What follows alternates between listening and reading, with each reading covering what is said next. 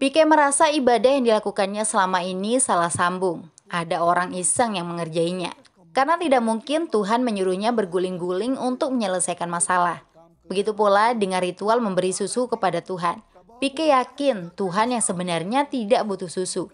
Tuhan pasti akan menyuruh hambanya memberikan susu ke anak-anak yang banyak kelaparan di jalanan.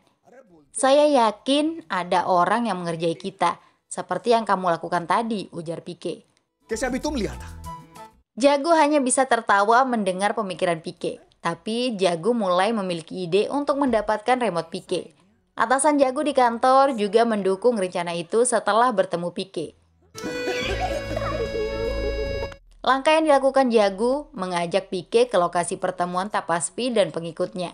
Pike harus bisa menyadarkan Tapaspi bahwa selama ini dia salah sambung. Saat itu Tapaspi sedang melakukan sesi tanya jawab dengan pengikutnya. Ada pula disiapkan tempat pengumpulan dana untuk pembangunan kuil. Meski Tapaspi tidak terang-terangan menerima uang dari pengikutnya, tapi dia mendapat banyak uang dari sedekah atau amal. Salah seorang pengikutnya memiliki istri yang sakit lumpuh. Tapaspi yang mengaku bisa membantu menyembuhkan penyakit terlihat berbicara dengan Tuhan. Adegan itu mulai direkam oleh kameramen atas perintah Jagu. Setelah berbicara dengan Tuhan, Tapaspi dengan penuh percaya diri menyampaikan jika penyakit itu bisa disembuhkan. Pengikutnya diminta pergi ke tempat bernama Pratan di Himalaya, lalu tinggal di sana selama 8 hari sambil berdoa. Apabila itu dilakukan, istrinya pasti akan sembuh. Mendengar jawaban seperti itu, Pike langsung angkat tangan tidak setuju. Pike menyebut Tapaspi salah sambung. Yang berbicara dengan Tapaspi bukanlah Tuhan, tapi orang yang hanya mengaku Tuhan. Menurut Pike, Tuhan tidak mungkin akan menyuruh orang pergi sejauh 4000 km untuk berdoa. Pike menganalogikan ketika seorang anak meminta bantuan ayahnya. Apa yang akan Anda katakan kepada anak Anda jika dia minta bantuan? Apa Anda akan memberinya obat atau mengatakan seperti tadi, sindir Pike? Apabila Tapaspi tidak percaya dia salah sambung, Pike menantang Tapaspi menghubungi Tuhan lagi. Tapaspi harus menanyakan apakah Tuhan bisa menjamin orang yang lumpuh akan sembuh setelah Himalaya. Tantangan itu membuat Tapaspi terpojok dan mengakhiri pertemuan. Pike berteriak meyakinkan Tapaspi jika lawan bicaranya adalah Tuhan palsu. Itu barang saya yang diberikan oleh Tuhan palsu. Ini adalah penipuan, teriak Pike. Rekaman video acara itu disiarkan oleh Jagu di televisi. Berita tentang Tapaspi menjadi viral. Kaliannya menyembuhkan penyakit mulai dipertanyakan. Apalagi Tapaspi mengaku bisa berbicara dengan Tuhan. Banyak wartawan dari media lain juga menyoroti dugaan penipuan berkedok agama yang dilakukan Tapaspi. Tapaspi tidak tinggal diam namanya dirusak orang. Dia mulai mengalihkan isu jika Pike ingin menghentikan pembangunan kuil yang merupakan perintah Tuhan. Kepada wartawan, Tapaspi kemudian menanyakan siapa Pike sebenarnya dan apa agamanya. Tapaspi juga terus menjelek-jelekan Pike di hadapan pengikutnya. Pike malah mendatangi tempat Tapaspi bersama lima orang. Tujuan kedatangan Pike untuk melakukan pembuktian bahwa selama ini Tapaspi berbicara dengan Tuhan palsu. Pike kembali meminta Tapaspi untuk memanggil Tuhannya. Kali ini bukan hanya Tapaspi yang ingin diuji, tapi juga Tuhan. Tapaspi dan Tuhannya diminta menyebut apa agama lima orang yang dibawa Pike. Dengan penuh percaya diri, Tapaspi menyebut agama kelima orang itu berdasarkan penampilan mereka. Dan ternyata tebakan Tapaspi salah besar, karena hanya melihat agama dari penampilan saja. Pika telah mengubah penampilan mereka. Orang Islam dibuat berpenampilan Kristen dan jago yang Hindu berpakaian seperti muslimah. Tapaspi terjebak perangkap. Dia yang katanya sakti dan dekat dengan Tuhan ternyata tidak memiliki kemampuan apa-apa. Pike mempermalukan Tapaspi untuk kedua kalinya. Apa yang terjadi tetap diberitakan oleh Jagu. Ayahnya Jepraka sampai datang ke kantor marah-marah. Pike juga dimarahi dan dituding semua tindakannya demi uang. Kamu akan masuk neraka, apa kamu tidak takut Tuhan? Ujar Jay Prakas. Pike gembira mendengar omelan ayah jago. Pike telah melewatkan hal penting yang tidak dipahami selama ini, yaitu permainan tentang rasa takut, tentang surga dan neraka. Untuk menjelaskannya, Pike mengajak ayah Jagu pergi ke kampus terdekat. Kegiatan itu disiarkan secara live di televisi. Pike kemudian mengambil sebuah batu dan menancapkannya di bawah pohon. Lalu batu itu dioleskan daun sirih dan ditaruh sedikit uang. Tidak lama, mahasiswa yang datang ke kampus menyembah batu tadi.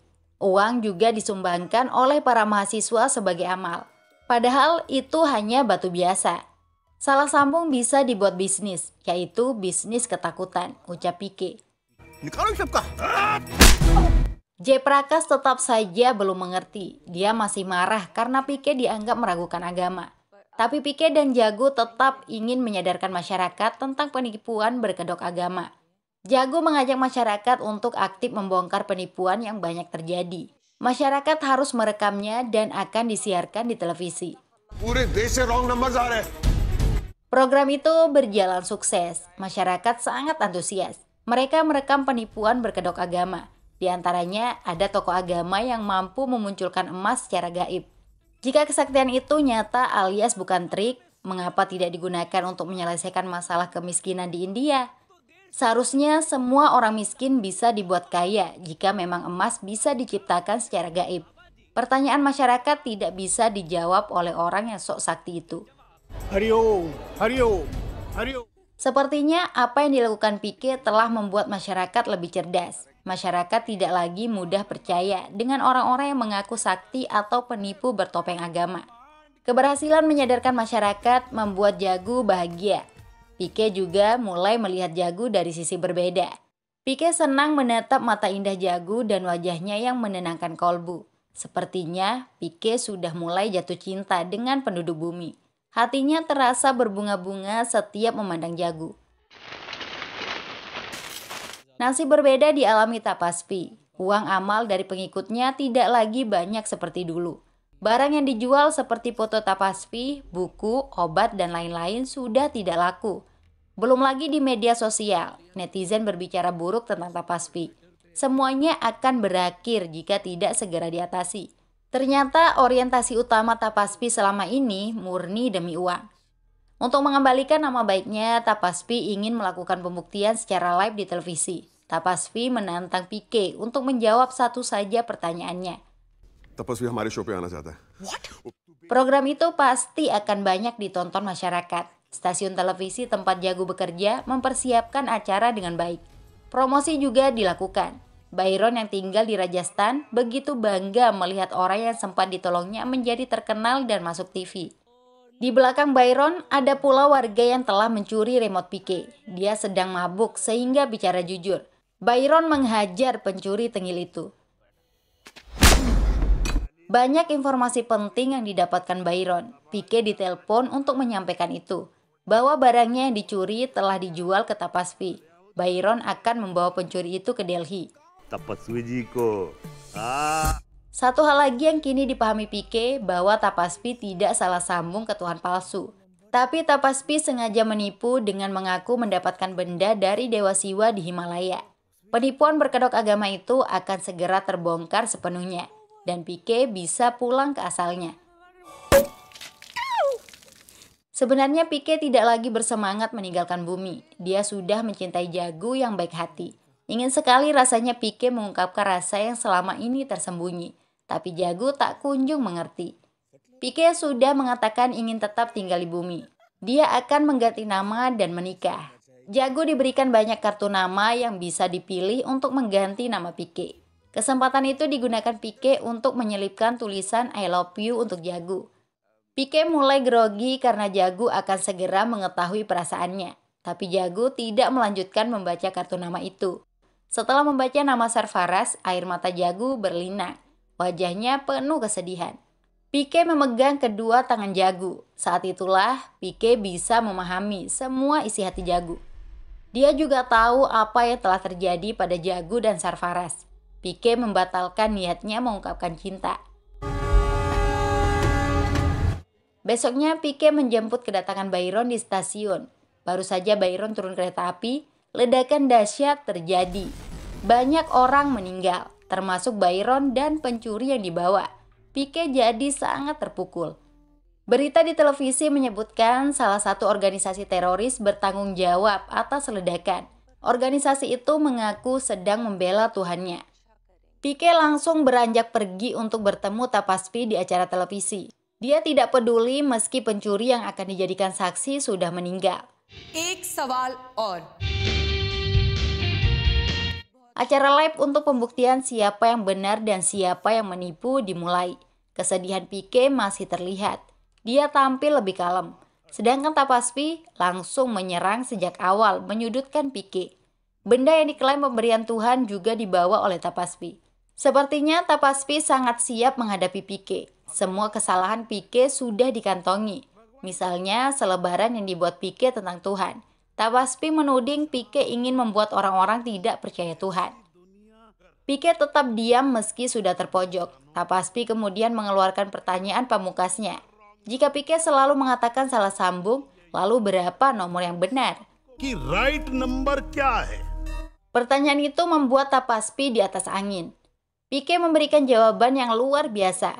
Pike meyakini ada Tuhan yang menciptakan semua manusia, tapi ada juga Tuhan yang diciptakan oleh orang-orang seperti Tapaspi.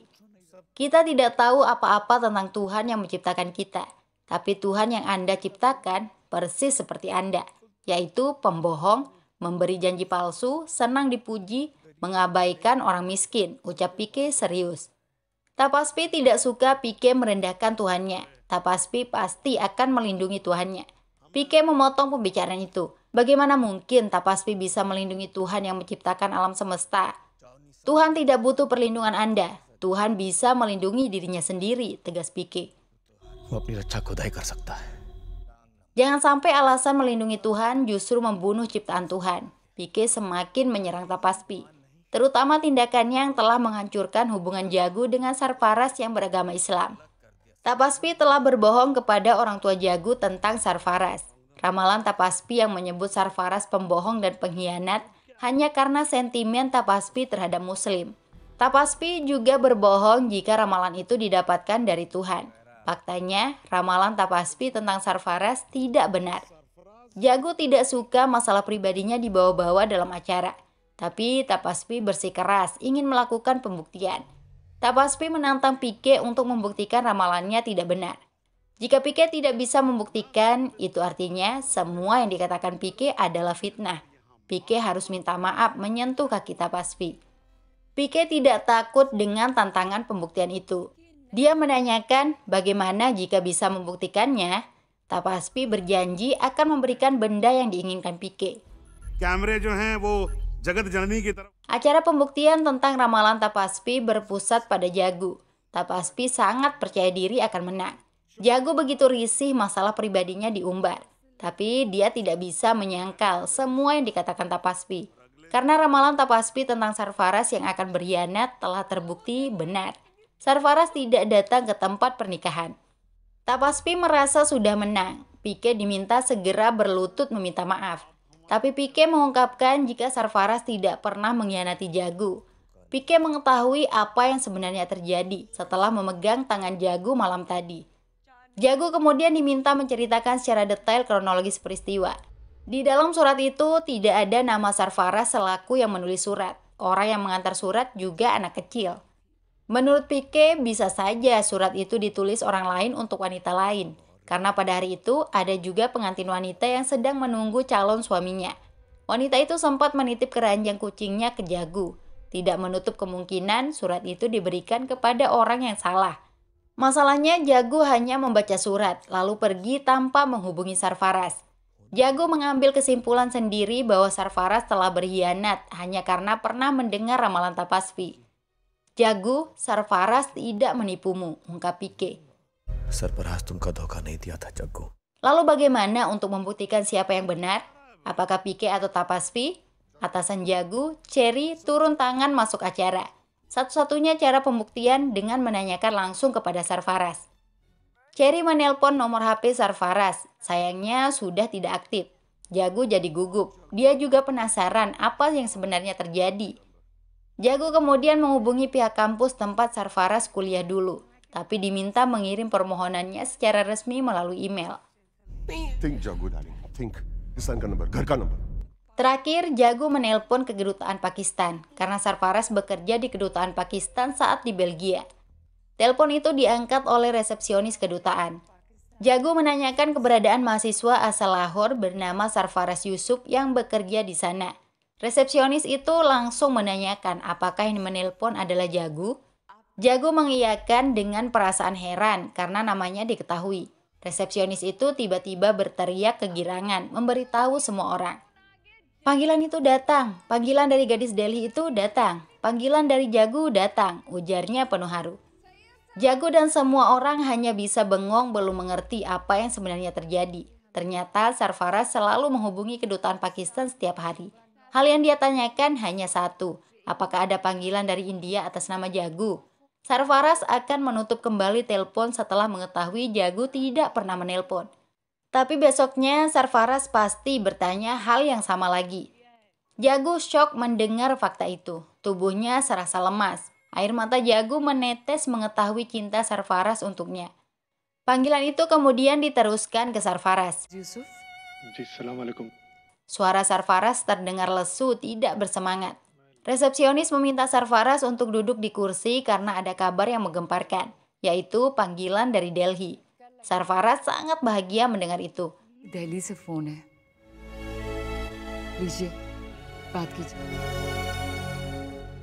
Akhirnya Sarfaraz dan Jagu berbicara lagi. Jagu hanya bisa menangis terisak. Jagu menanyakan apakah Sarfaraz datang pada hari itu untuk menikah. Ya, saya datang, tapi kamu tidak ada, jawab Sarfaraz dengan nada sendu. Rupanya Sarfaraz juga salah paham gara-gara surat yang sama. Sarfaras menemukan surat yang dianggap dari Jagu. Di dalam surat itu, Jagu meminta agar tidak dihubungi lagi. Sarfaras berpikir keputusan itu dibuat Jagu karena tekanan dari orang tuanya. Tapi entah kenapa, saya punya perasaan kalau kamu akan menghubungi saya, ujarnya. Itulah alasan Sarfaras selalu menunggu telepon dari Jagu, dan penantian itu tidak sia-sia. Keduanya kini bisa menangis bahagia. Tapaspi yang justru kelimpungan, dia telah kalah dan benar-benar dipermalukan. Ramalan yang katanya bisikan Tuhan ternyata hoax, itu hanya tipu-tipu. Tapaspi ingin membawa pergi benda milik Pike. Tapi kali ini ayah Jagu yang menghentikannya. Tapaspi yang diagungkan selama ini terbukti seorang penipu berkedok agama.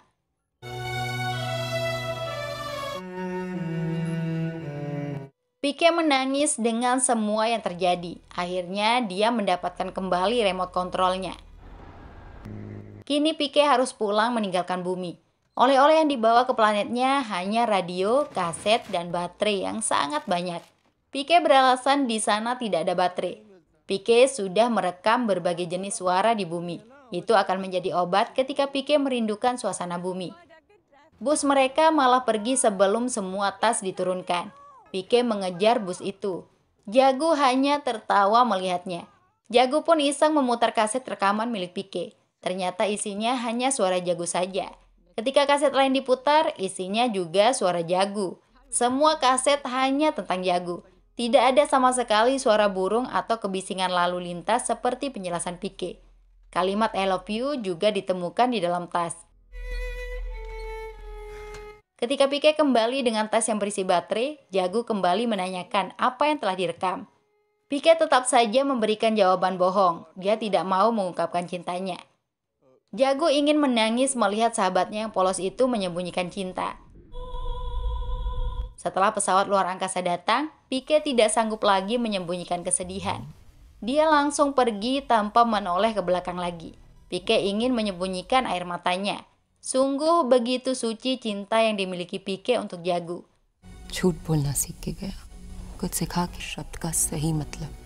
Setelah kepergian Pike, Jagu menjalani hidup bersama Sarfaraz dan keluarganya. Jagu juga menerbitkan sebuah buku tentang Pike. Jagu sangat merindukan kehadiran Pike lagi.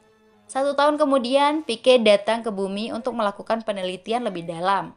Pike tidak sendiri, dia datang dengan banyak orang dari planetnya. Salah satunya yang diperankan oleh Ranbir Kapoor. Tapi film selesai. Semoga ada kelanjutannya suatu saat nanti. Bye-bye.